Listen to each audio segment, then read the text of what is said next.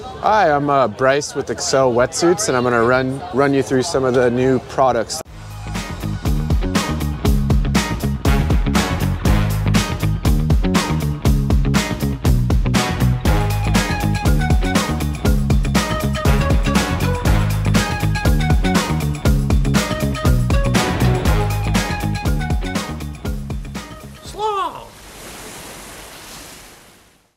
Right here is, you know, the premium dry lock.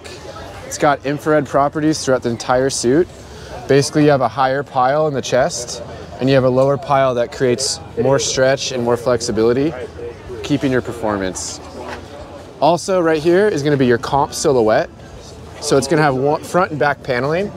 It's gonna have this sublimated screen from an infrared camera when the wetsuit was tested. It's called TDC, and it actually increases your blood flow while wearing. So you have performance with the comp silhouette, and you also have an increased blood flow with the interior of the suit.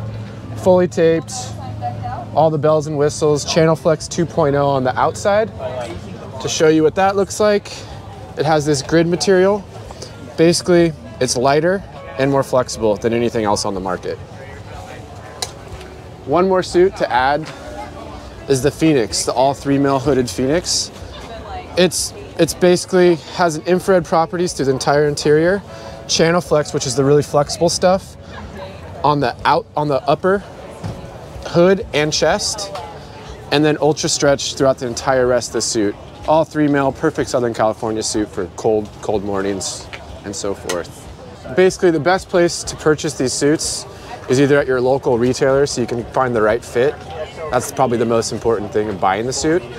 And then as well, you can also purchase these online if there's no local retailers near you. Slong!